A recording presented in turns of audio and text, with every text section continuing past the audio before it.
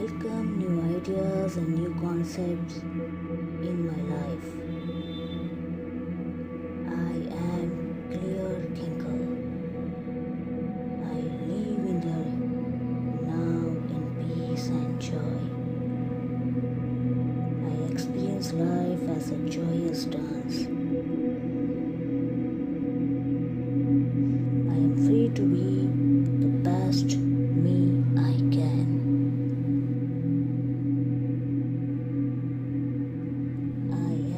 Safe.